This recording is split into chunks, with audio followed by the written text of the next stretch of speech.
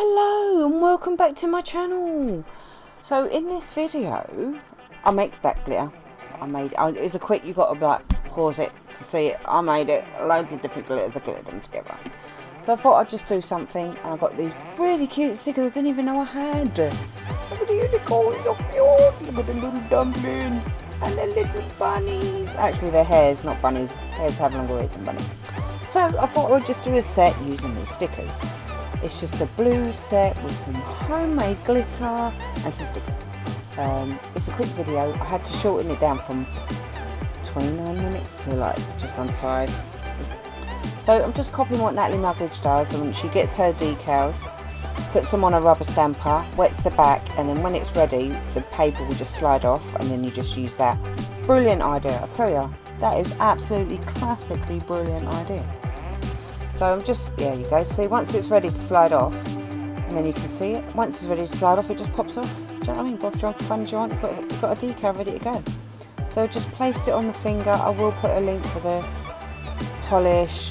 Um, to be honest, I don't know where I got the decals, but you can get them anywhere on the internet. So eBay, Amazon, loads of places.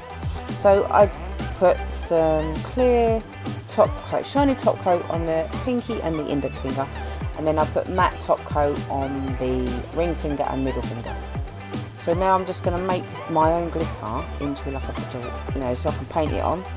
So I just got a bit of clear gel top coat because you don't want anything sticky, right?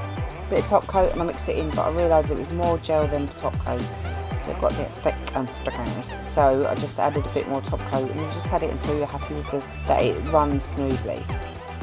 Um, yeah, so you just mix it, mix it, and you know, whenever you're happy with it, then you can use it. I think I might have added a bit more. Yeah, I did. I just didn't feel it was runny enough for me.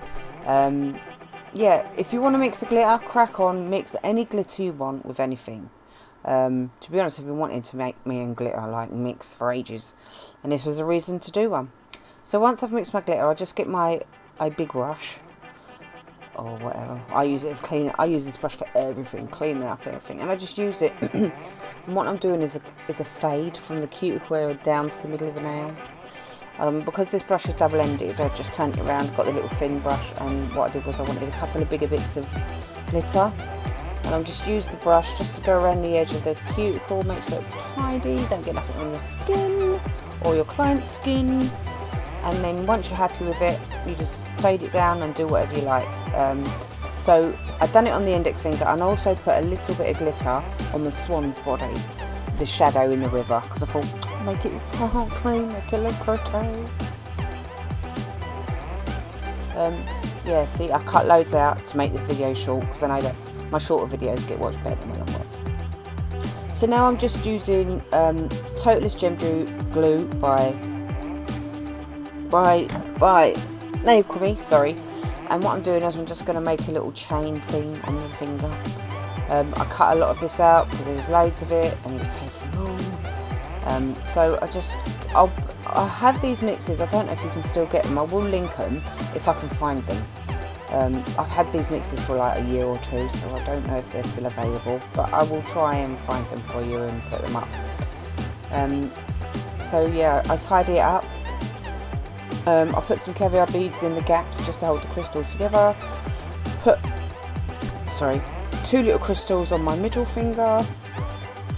Clean up that bit of gel and I do give it another top coat of matte just so that, you know, it hides the shiny gel. Um, I hate the fact that these little nail, these nails are like, and it, you know what? I can file a nail, but it makes me look fliddy, right? It's like, oh. Anyway, here you go. Let me know what you think.